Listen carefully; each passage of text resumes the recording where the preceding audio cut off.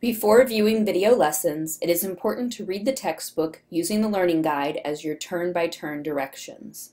Then use the Learning Guide to take organized notes in your own words with examples and pictures. Variations in Consciousness In this chapter, we will continue to look at the biopsychosocial model of human behavior, but we will look at the interaction between biological, psychological, and socio-environmental factors.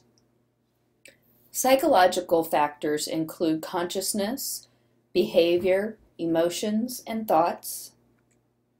The biological factors we'll be looking at are brain waves, the circadian rhythm, hormones, age, chemicals such as drugs, and disease. And lastly, the social and environmental factors we will look at are signals of light and dark from the environment, stimuli in the bedroom, and culture. We will begin by looking at the nature of consciousness. Consciousness has been a part of the study of psychology since it was founded by Wilhelm Wundt in 1879. In psychology, we define consciousness as your personal awareness of external stimuli, what you can personally see, hear, smell, taste, and touch right now in this moment. Internal stimuli, such as internal sensations. Are you hungry? Do you need to go to the bathroom? Those sorts of things. And also your thoughts. What are you thinking about right now in this moment? Consciousness also includes your sense of self or awareness of self. Now, one of the things we've discovered about consciousness is you don't have um, complete awareness of all stimuli at all times. Instead, as Williams, William James found, our consciousness ebbs and flows like a stream. This means that right now in this moment, your senses are being bombarded with information about the sight, sound, smells, tastes, and touches, but you may not be fully conscious or aware of all of those sensations. So I may not be aware of the temperature in the room I'm in unless it's extremely cold or hot. I might not be aware of the smell unless there's something unusual or remarkable. So our consciousness can ebb and flow, both our awareness of external, internal, and self. Now, William James, if you remember him from chapter one, he was the functionalist who liked to test people. He came up with this concept of the stream of consciousness.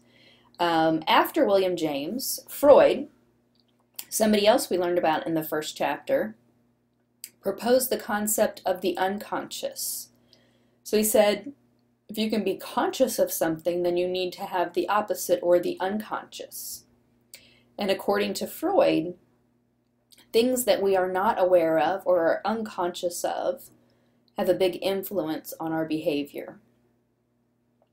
We, we like to use the example of an iceberg where you only see a small portion of the iceberg and most of the rest of it is below the surface. Freud said that we were like this. Most of our behavior was driven by the unconscious below the surface, and only a tiny part of us is actually conscious. Today, we still study consciousness with sleep and dreaming research and using an EEG. EEG stands for electro encephalograph. Electro, looking at electricity. Cephalo, meaning head. And graph. So we're looking at electrical activity going on inside the head or brain.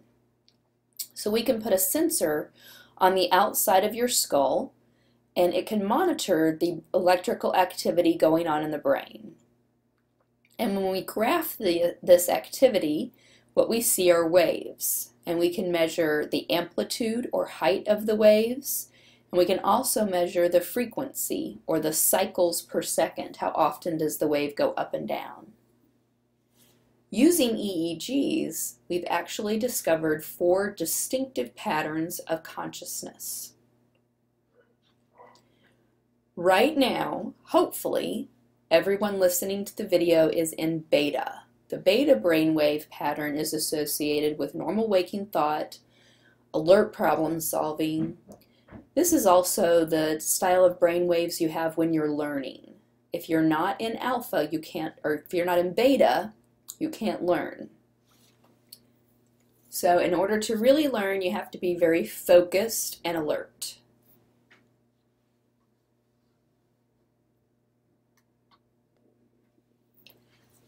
The other type of brain waves that you can have while you're awake are alpha brain waves.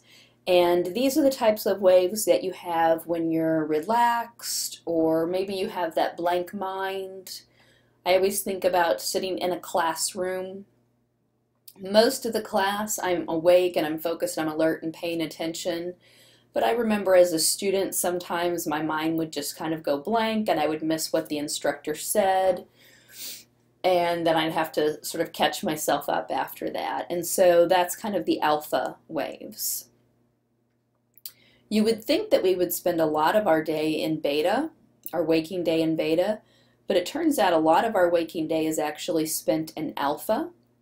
And that's because alpha is the autopilot mode, and our brain tries to be as efficient as possible and move as many tasks as it can to autopilot, or I can do this without really thinking about it. Think about things like tying your shoes. You don't really have to concentrate too hard to do that. Or brushing your teeth.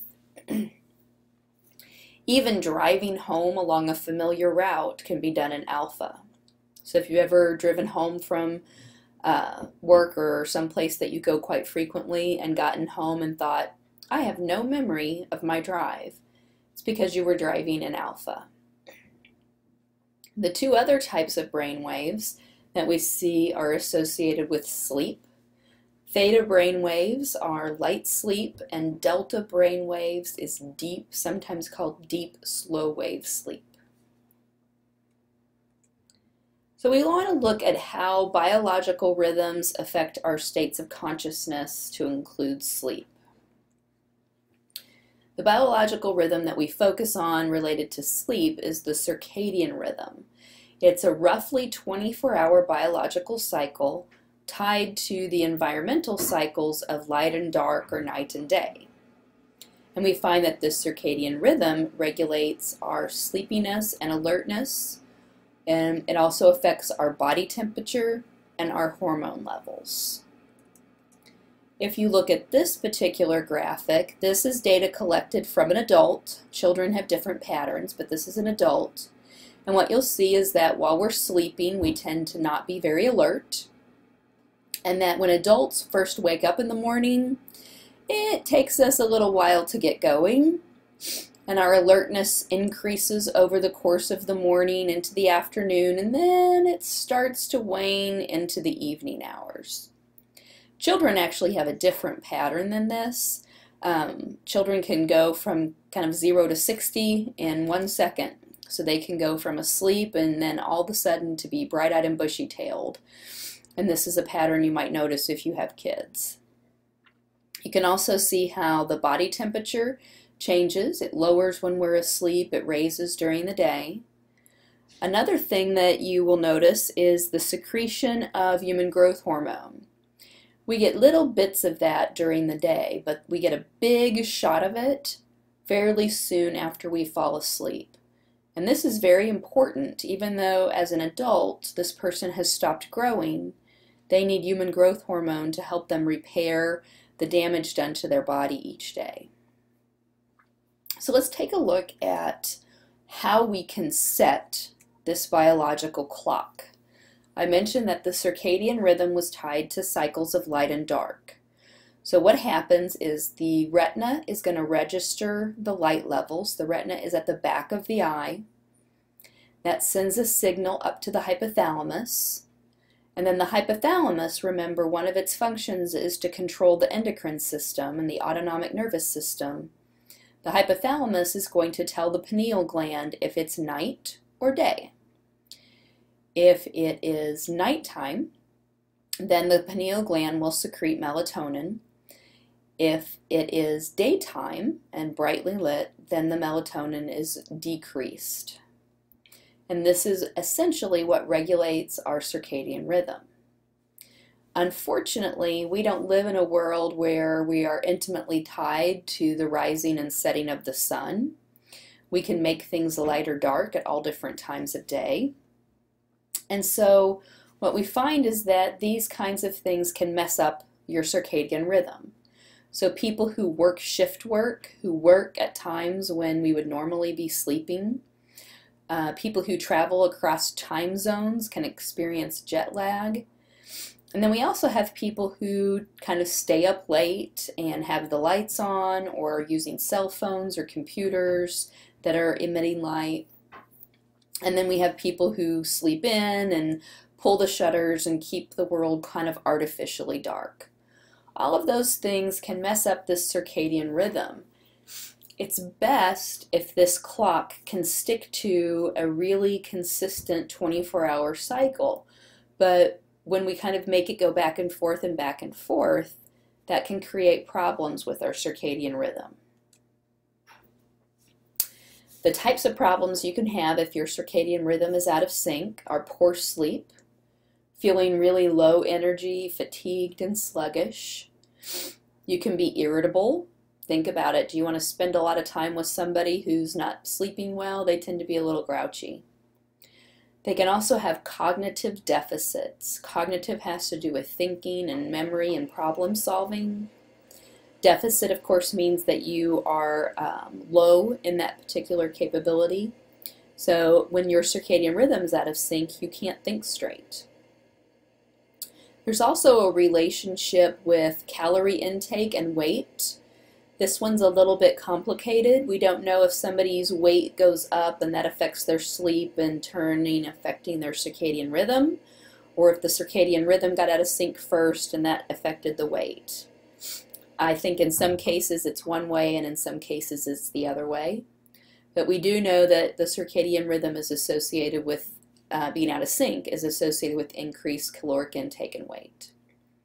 We also see a higher incidence of all kinds of physical diseases to include cancer, diabetes, ulcers, high blood pressure, and heart disease. When your circadian rhythm is out of sync, everything's out of sync.